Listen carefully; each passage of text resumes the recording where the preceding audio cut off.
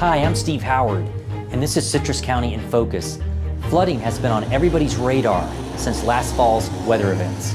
Resiliency is critical, and we're ready to help owners of flood-prone homes to rise above the floodplain.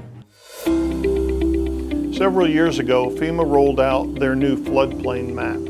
Many of the floodplain levels increased as much as two, three, and four feet above what the last map showed. When many of these homes were built, they were not in the floodplain, but now many are. So that's where the Flood Mitigation Assistance Program can help. This is a federal program that is administered by the Florida Department of Emergency Management. Mitigation involves elevating and rebuilding above the floodplain. We're building up higher to get out of the way of those floodwaters when they do come ashore. If your home has had severe repetitive flood loss and you have an active flood insurance policy, then the Flood Mitigation Assistance Program would be a good option. And in most cases, out-of-pocket homeowner costs would be around 25%. The best part of it though is that the county is going to make application on homeowners' behalf. But the homeowners have to get in touch with Housing Services Citrus County Housing. Marina speaking, how can I help? For homeowners interested in elevating their home and wanting more information on the Flood Mitigation Assistance Program, please call Housing Services at 352 527 7520. We are confident that Citrus County Housing Services will be an excellent resource in helping homeowners through the process. This is a great opportunity. The more homes that we can get elevated above the floodplain, not just in Citrus County, but around the state of Florida, means ultimately there are fewer losses and lower premiums, lower flood insurance premiums for all of us. This month marks the opening of Target at the Shoppes at Black Diamond on the corner of County Roads 491 and 486 in Lecanto. Here's a look at the progress. Right now they're at about 100 people that they've already taken on staff and they're still counting with the opening coming up in about a week or so. Those jobs are all being filled with people from around about a 15 mile radius. So that means given this location, you're, you're pulling a lot of people, the vast majority of them from Citrus County. For someone who is having to travel outside of Citrus County, travel that extra 15, 20 miles away from Citrus County to go to Ocala in Marion County and get that job, this could be a, a, a, game changer for them because they could come in making $15, $17 an hour and they only live five minutes away. Beats growing to Brooksville, that's for sure. This whole corner and this whole stretch uh, is really going to be booming over the next few years. Um, just from these developments, I can tell you right now the county has had uh, several conversations with some interesting, interesting companies that it, uh, has really put a spotlight on Citrus County.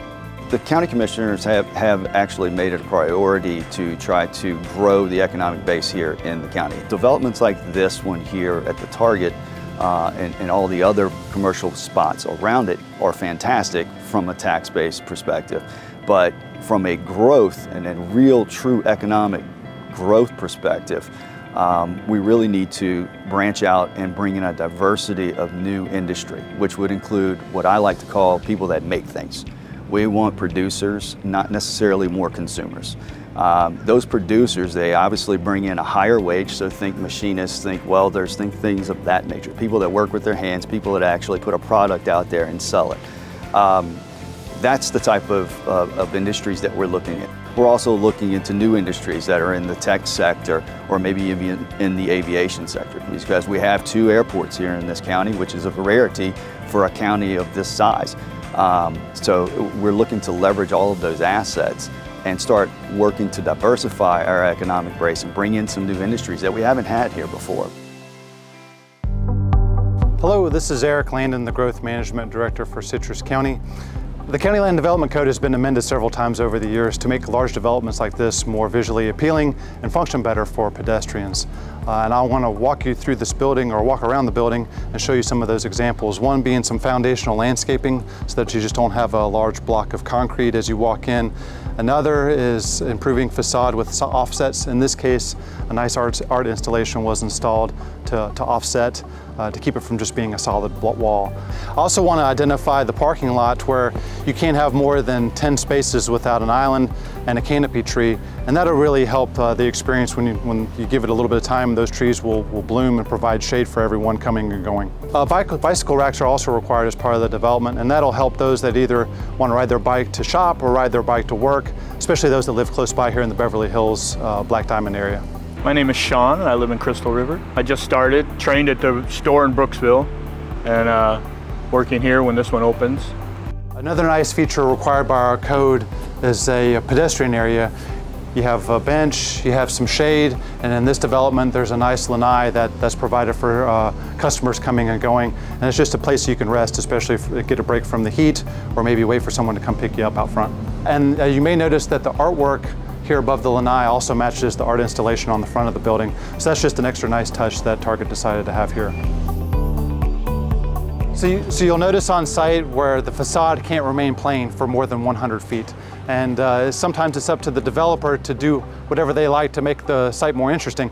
In this case, they provided a living wall where you'll have vines growing up this fence, and also they'll have a window which will uh, have a dual effect. It provides natural light inside. So it's just a nice feature uh, and a nice partnership between the corporation and the county.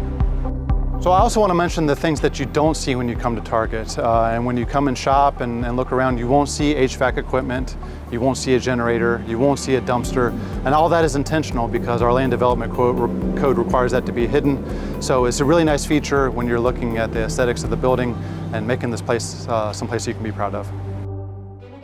I'm Steve Howard. Thanks for watching. Join us next month for a special Citrus County in Focus on roads.